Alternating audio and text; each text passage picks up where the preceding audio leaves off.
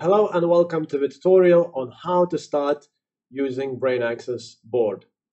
BrainAccess Board is an application that allows you to connect and stream data from BrainAccess device, collect data from other sources, and also has very useful functionality for setting up EEG experiments. In this tutorial, I will demonstrate how to connect to BrainAccess device, uh, stream and record data, and also go through some useful functionality of the board. If you haven't installed the BrainAccess Board software yet, you can find the board on our website, brainaccess.ai. Uh, go to resources and downloads section.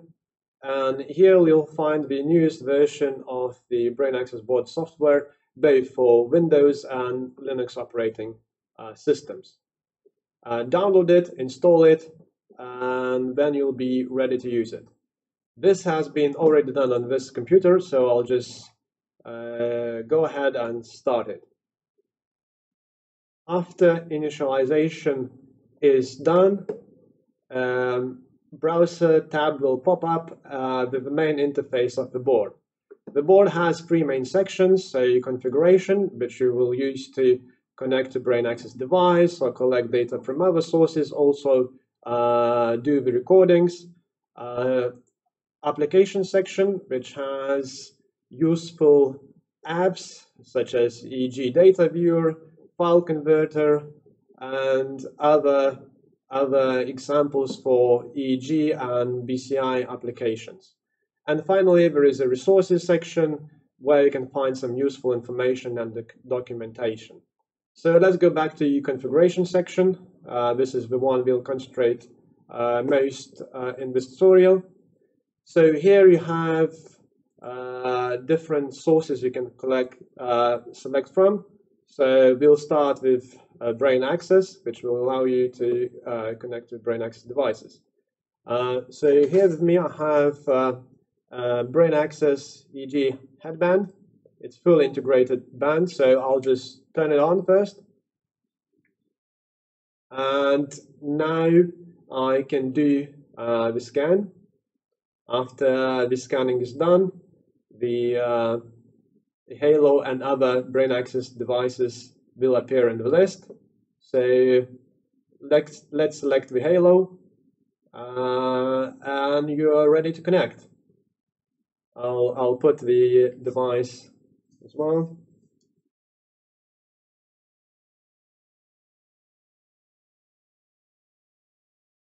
So once connected, uh, you'll see a device tab uh, appear in the connected devices list. And it has some useful information. For example, the source, so that's the name uh, of, of the EEG data stream from this device. Uh, so this name will be the same for lab streaming layer stream.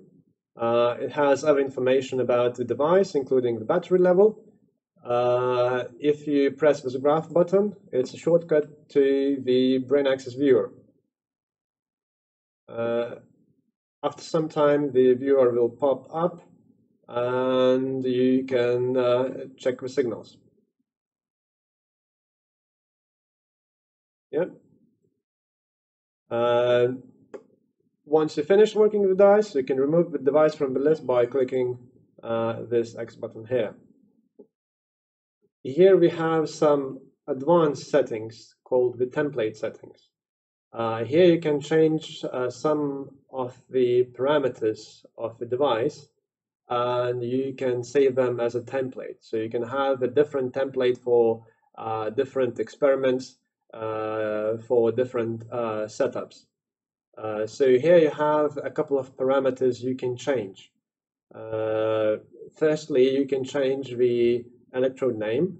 This is not very applicable for the halo where the electrodes are fixed, but for brain access kits, you can position electrodes in different position uh, and location, and then you can change uh, the names accordingly. Uh, you can also deactivate some channels if you prefer, and if you don't want to stream uh, a lot of data.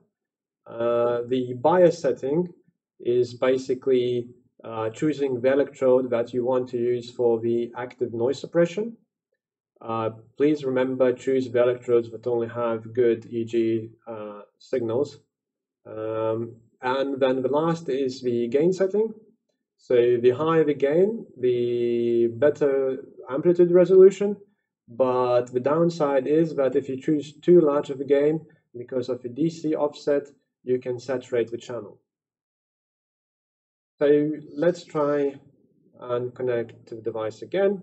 So here we have a data recorder. It's uh, quite straightforward to use. Uh, so here you specify the directory the data will be saved. Here you can enter the uh, task name, so let's call it baseline EEG for example. Uh, here you can uh, select subject ID and then have uh, session and run numbers. These will create separate folders for different recordings. So once you're ready, just press start recording uh, once you're finished with all the experiments, just press stop recording. The data is saved in our internal, internal format, but you can use the file converter that I mentioned earlier to convert to all the different standard formats. You can use BrainAccess Board to connect to multiple devices as well. Uh, here I have uh, a BrainAccess Max device is available as well. So let's connect to it. Once connected, it will appear in the list, connected devices list here. Uh, and what's important, the data streams from both devices will be synchronized in time. So you can have multiple recordings on multiple people uh, that are synchronized in time. This allows for hyperscanning applications, for example. However, the number of the devices you can connect to is limited by the Bluetooth adapter. Nonetheless, you can have a separate computer running BrainAccess Board and you can connect to the third device. Once you connect, the data is also streamed to the lab streaming layer on the local network. And this brings us to the another type of source you can have on the board, uh, which is called lab streaming layer. So if we had another third device um, uh, streaming data from on another computer, you would see it here. And then you can uh, connect it as well.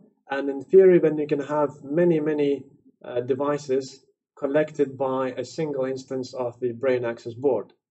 All that data will be synchronized and simultaneously you can do the whole recording. Lab streaming layer can be used for sending annotations uh, of a particular event as well uh, so, for example, you can have another computer running a stimulation program, and then you can send annotations, uh, then you know a particular frame, for example, is shown. And this stream can be recorded by the board as well. You can specify the stream name name here, and then if you press press start, then it will be automatically added to the connected device list here and again, if you're going to do the recording, it will be saved simultaneously and you'll have all the data synchronized. And there is uh, the third type of source you can have, which is called synthetic data. And basically, as the name suggests, it just generates uh, some random or uh, some predefined uh, function, uh, and you can connect to it. And basically this is used uh, either for debugging purposes or if you're designing some pipeline, collection pipeline, but you don't have any physical devices available uh, with you. So thank you very much for watching. Please visit brainaccess.ai for more information or contact us directly.